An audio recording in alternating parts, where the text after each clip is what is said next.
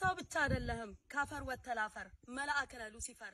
ክብር ማንነት የምታፈር የማትንበረከክ የማትንበረከክ። የበረከት ገበሬዋ ፍልስፍና ተደማጭነት የማጣቱ ምክንያት ያልታሰበው ጣጣ ማምጣቱን የማህበራዊ ሚዲያ አዋቂ ነኝ ባዮች አሊያም ተጽዕኖ ፈጣሪ በሚል ለራሳቸው ቦታ የሚሰጡ ሲናገሩ ይደመጣል። የበረከት ገበሬዋ ንግግር ብዙዎችን አስቆጥቷል።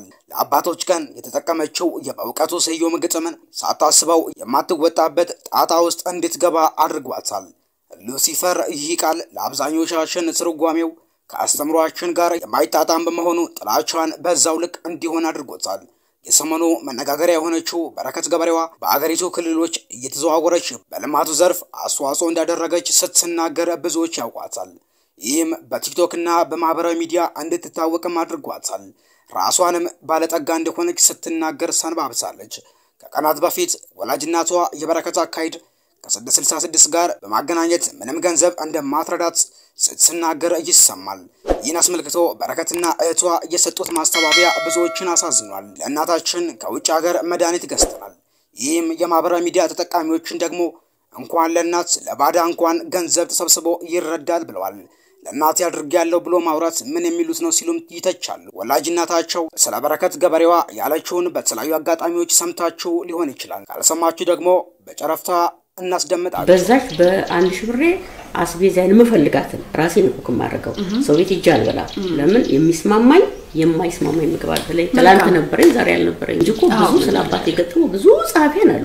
ለምን ከዛ አልተመረጠም? ይህን አስመልክቶ ታዲያ በረከትና እህቷ የበርካቶችን ትኩረት የሳበው ምላሽ ሰጥተዋል። ይህም ሰሞኑን በሚዘዋወረው ነገር እንደ ቤተሰብ በጣም አዝነናል። እናታችንን የምንጠይቀው ነገር አለም። እናታችን ወይ እውነት ቤት የለሽም? በበረከት ሙሉ ወጪ ተሸፍኖ አየርላንድ ድረስ ሄደሽ አልታከምሽም ሲሉ ይጠይቃሉ። ይቀጥሉና እንዲህ ይላሉ። እውነት እናታችን ቤት የለሽም? እውነት እናታችን አየርላንድ ድረስ በበረከት ሙሉ ወጪ ሄደሽ አልታከምሽም? እውነት እናታችን መድኃኒት ሲያልቅብሽ ከተለያዩ የአውሮፓ ሀገራት ተሯሩጠን ፈልገን አልሰጠንሽም? አሁንም ፍጥጫው እንደቀጠለ ነው። በረከት ወደ ፍርድ ቤት ልትሳምራ እንደምትችል ፍንጭ ሰጥታለች። ክስም ልትመሰረት እንደምትችል ጥርጥር የለውም። ግን ማን ላይ የሚለው ምላሽ ይፈልጋል። እናት በልጇ ላይ ለምን ተነሳች?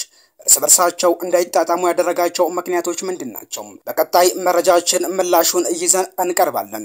በእውቀቱ ስዩም ደግሞ ዝምታ ለምኔ በሚል ስለ ጉዳዩ ሊያስረዳልኝ ይችላል የሚል መልእክትም ሰዷል።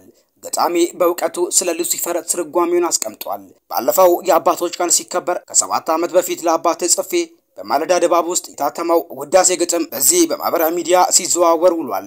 በረከት ገበሬዋ የተባለች የተሳካላት ሴት ግጥሙን አንብባ ለለቀቀችው በረከትን በስኬቷ የሚቀኑባት ወይም በግላቸው ምክንያት የጠመዷ ሰዎች ከግጥሙ ውስጥ አንዲት ቃል መዘው ዘመቱባት። በረከት በምትችለው አስረድታለች። አሁን ደግሞ የኔ ባለቤቱ ተራ ነው ይላል በእውቀቱ ስዩም። ይቀጥልና ለአባቴ በጻፍኩት ግጥም ላይ ሉሲፈር የሚል ቃል ተጠቅሜያለሁ።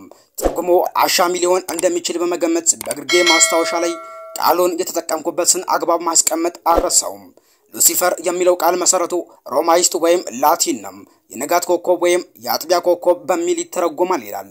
ቬነስ የተባለችው አንጸባራቂ ፕላኔት በዚህ ስም ስትጠራ ቆይታለች ይላል በእውቀቱ ስዩም።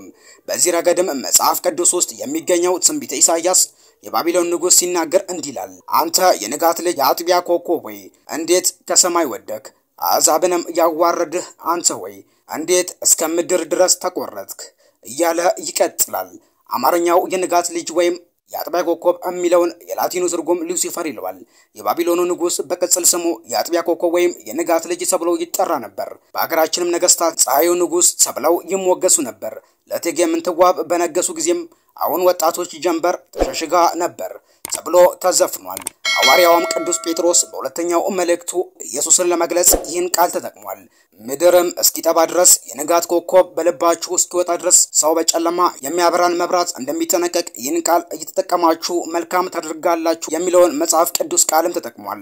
በሌላ በኩል ደግሞ የካቶሊክ የሥነ መለኮትና ባለቅኔዎች በሁለተኛው ዘመን ኢሳይያስ ስለ ባቢሎን ንጉሥ የተናገረውን በመተርጎም ሉሲፈር የሰይጣን የቀድሞ ስም ነው የሚል ትረካ አስተዋውቆናል። ማርቲን ሉተርን ጨምሮ ታላላቅ የፕሮቴስታንት አባቶች ይህን ትርጓሜ አልተቀበሉትም።